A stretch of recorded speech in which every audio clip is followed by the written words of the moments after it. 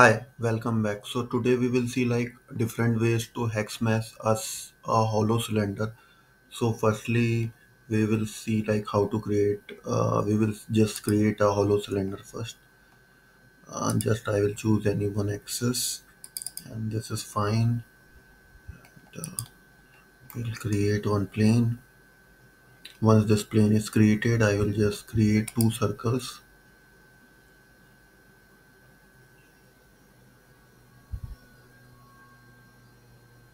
Uh, this is fine. Uh, I will create 30. Then uh, I will just create one more circle in the same plane.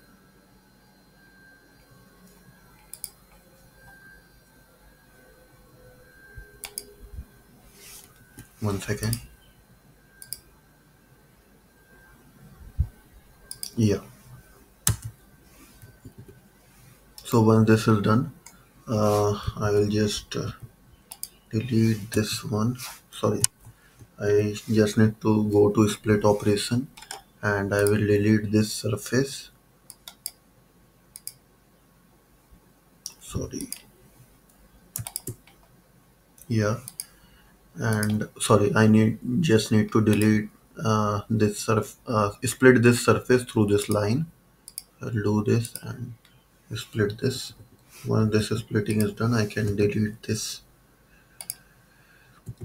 uh, surface. Now what can I do is to just extrude this uh, surface to make a hollow cylinder. 40 is fine.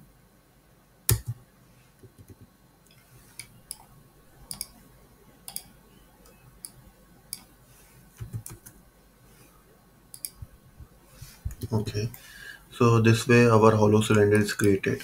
Now there are various ways to hex mesh it.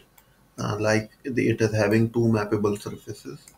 Uh, so we can mesh this initial part, the inner circumference, and then we can extrude this to outer surf surface, or we can do it like uh, we can just mesh this face and then we can extrude this or we can just cut it and we can just mesh this face and we will revolve it. So we will go to one by one. So let me just do uh yeah. So let me just do this most simplest one.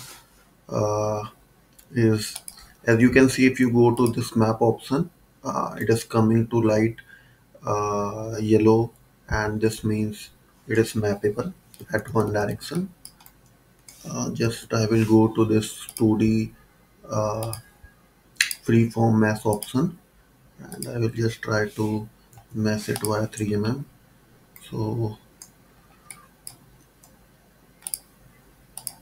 I will just put here 52 okay. Now what I can go here is I can go again to topology extrude just I will select this mesh.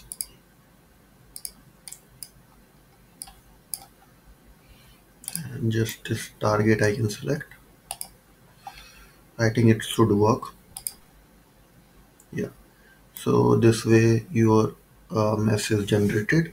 And uh, uh, if you can see here uh, it's currently 9.5 mm and if you want to change this you can just go to extrude.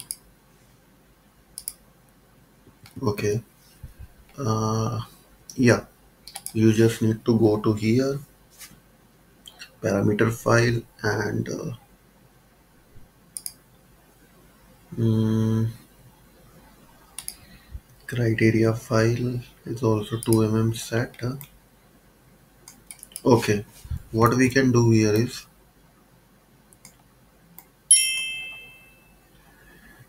uh, we can just put some nodes here.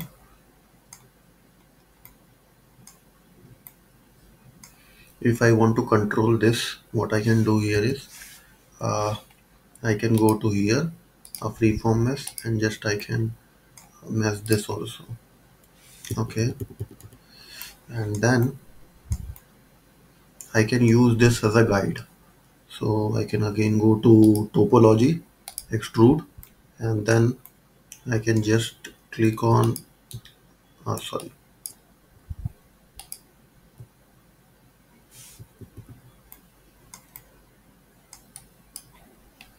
Can just go to extrude and then click on this face mesh and then target I can select this.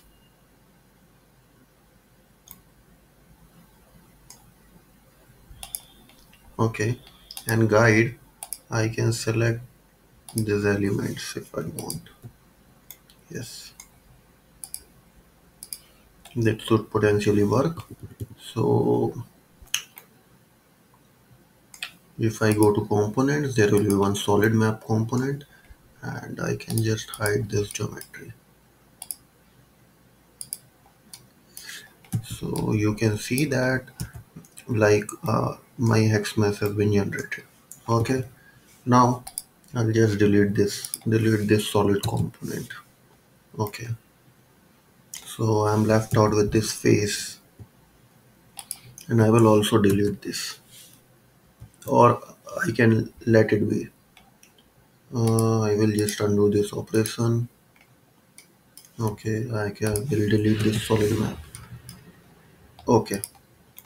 Now the other way is to mesh this part this outer circumference and to extrude here or mesh this inner circumference and extrude it outside. So I have already meshed this outer circumference. Uh, just I will also mesh this for the time being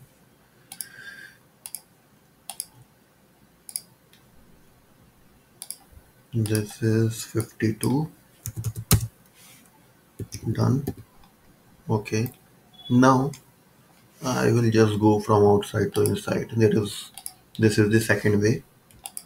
Just click on these elements by face and then I can just go to this and these elements I can select and this element I can select by face.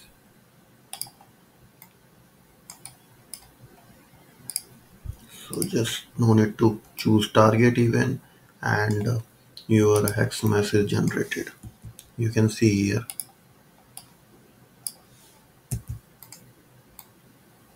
Yeah. So this this is one of the way also to generate the hex mesh uh, the one of the more simpler ways we know that it is a revolving solid. So just we can do go here to F9 uh, uh, split option and then we can go to this plane. We can just cut it anywhere you want and split this. Okay.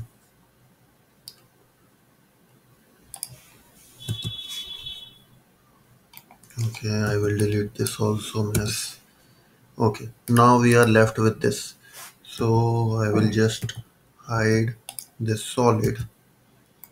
Now I can mesh this face.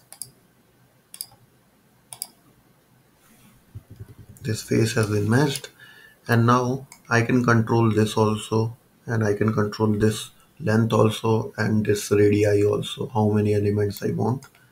And then once this is done you can go to uh, topology revolve option and then you can go choose elements. Always axis uh,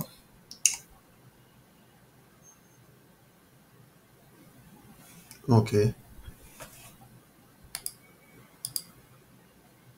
One second. Okay I just need a center node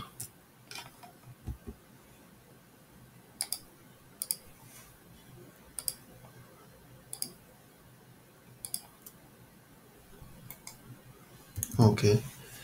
Once the center node is created now I just go choose these elements axis this way and I will put 360 degree. And uh, I need, just need approximately suppose I need 12 uh, 20 elements across this circle. And I will click OK. So this is done. Now uh, this I need to get rid of this 2D element. So how can I do it? This 2D element I can isolate, click on this, right click and uh, I can press isolate here isolate and I can just go to E and elements and delete this now I am left out with 3d mesh. But this 3d mesh is not connected in this way. So I just need to go to uh, validate equivalence and just choose these elements. And this tolerance I will give 0.02 and you can see that it will say this is the elements you want to equivalence one second. Yeah. This is the elements you want to equivalence. I say yes. And this has been equivalenced so this is the the third method to do the hex meshing of the hollow cylinder. Uh, this is all about this hex meshing of hollow cylinder. Uh, you can do this with other circular uh, solids also. Uh, yeah. Thank you. Have a great day. Bye